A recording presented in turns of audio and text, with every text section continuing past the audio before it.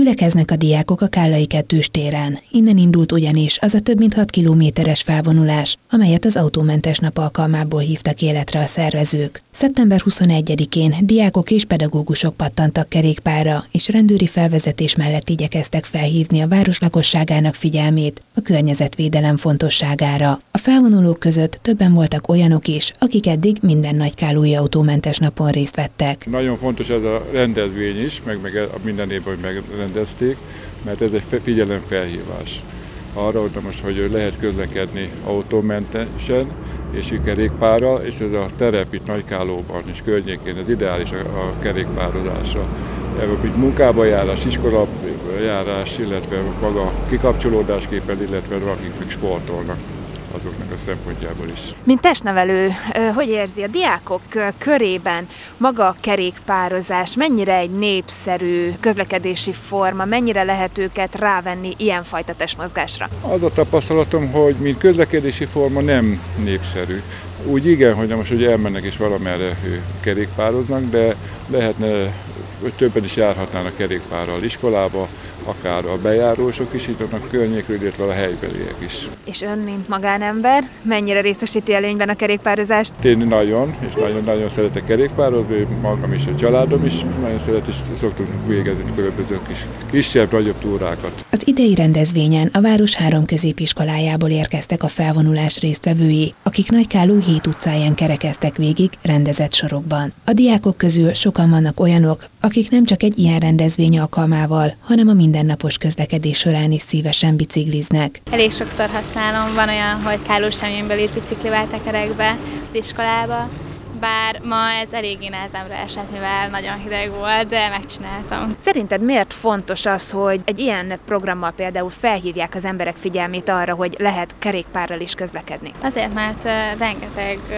autós van, és hogy ezzel nagyon szennyezik a környezetet és szerintem, hogyha ilyen kis távolságokról beszélünk, mint hogy Káló és Káló semmilyen, akkor ezt egyszerűen meg lehet tenni kerékpárral, és nem kell az autóba ülni. Emellett mit gondolsz, mit tehetünk még, hogy óvjuk a környezetünket, hiszen ugye az autómentes nap egyik célja, hogy felhívja a figyelmet a környezetszennyezésre. Még a tömegközlekedéseket tudom ajánlani, hogy azzal is lehet, mondjuk én azzal szoktam járni, csak még több embernek kellene szerintem azt használnia. Az autómentes nap, mint világrendezvény 1997-ben indult útjára azzal a célral, hogy felhívja az emberek figyelmét a megnövekedett autóforgalom okozta környezeti, baleseti problémákra, az emberbarát városi közlekedés előnyeire, valamint a kerékpáros és a gyalogos közlekedés fejlesztésének szükségességére. Nagykálú immár negyedik alkalommal csatlakozott a felhíváshoz. Úgy gondolom, hogy a hagyományokat őrizni kell, és már évek óta megrendezzük az autómentes mobilitásos napot, ami az Európai Mobilitási Hét keretein belül történik,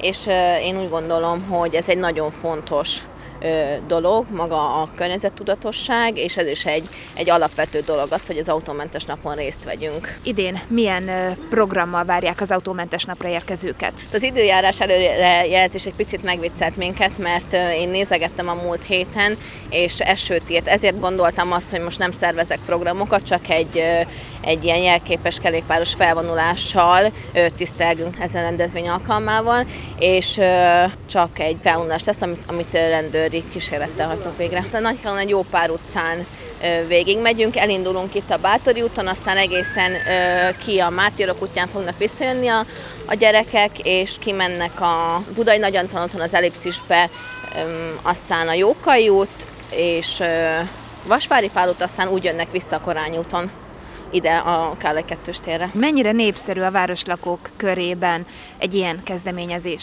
A tavalyi nagyon jól sikerült, mert több mint ezer diák vett részt. Üm, idén, mondom, a rossz idő miatt nem szerveztünk komolyabb programokat, de én úgy gondolom, hogy mozgósíthatóak a gyerekek. Nyilván az iskola igazgatókon keresztül keresem fel a diákokat, és én úgy gondolom, hogy részt vesznek ezeken a programokon, tehát én meg vagyok elégedve velük. A felvonulás végén a távot teljesítőket apró ajándékokkal jutalmazták a szervezők, majd az autómentes nap jelképeként a magasba lendültek a kerékpárok is, ezzel jelezve, Nagykálóban is fontosnak tartják a környezetkímélő közlekedési módok népszerűsítését.